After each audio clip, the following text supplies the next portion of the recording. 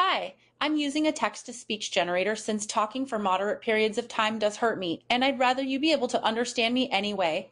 I'm going to be showing you how to convert your Scratch projects into itch games. Firstly, you need an itch account, which is easy enough to set up.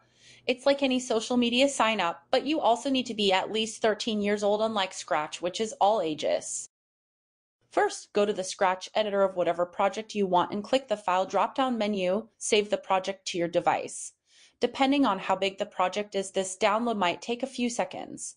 Go to the TurboWarp Packager page and choose the HSB file you just downloaded. Scroll all the way down and make sure you have the HTML selected. You can press the preview button to make sure your project works the way you want it to. Then you can press the package button to download your new HTML file. Go to your itch profile and to the right of your username, click upload new project.